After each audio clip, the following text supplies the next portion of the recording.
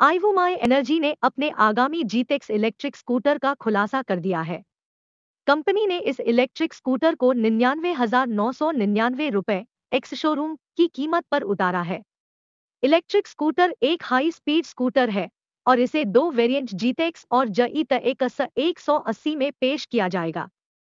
यह scooter dual detachable battery के साथ आता है और जीटेक्स को राइडर मोड में 90 किलोमीटर से ज़्यादा और इको मोड में 100 किलोमीटर से ज़्यादा रेंज प्रदान करने का दावा किया गया है। दूसरी ओर जईत एकस 180 वेरिएंट को स्पोर्ट्स मोड में 180 किलोमीटर से अधिक और इको मोड में 200 किलोमीटर से अधिक की रेंज मिलती है।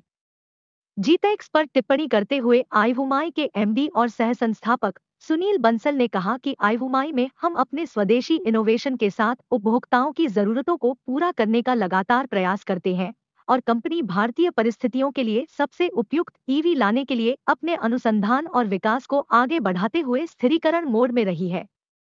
इसके अलावा उन्होंने कहा कि हमारा मानना है कि ये एक्स्ट्रा पावर्ड देसी स्कूटर लोगों को रेंज की चिंता दूर करने और इलेक्ट्रिक वाहनों की विश्वसनीयता बढ़ाने में मदद करेंगे। इलेक्ट्रिक स्कूटर कई राइडिंग मोड से लैस है, जिसे चलते फिरते बदला जा सकता है और इसमें रिवर्स फ़ंक्शन भी मिलता है। जीटेक्स डिस्क ब्रेक और कॉम्बी ब्रेकिंग सिस्टम सीबीएस के साथ आता है।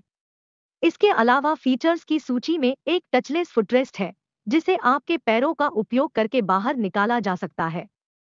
जीटेक्स में एक न्योरेट्रो डिज़ाइन दिया गया है और इसे कुल चार मैट फिनिश रंगों में उतारा गया है। इस रंग विकल्पों में scarlet red ink blue posh white और स्पेस ग्रे कलर शामिल है।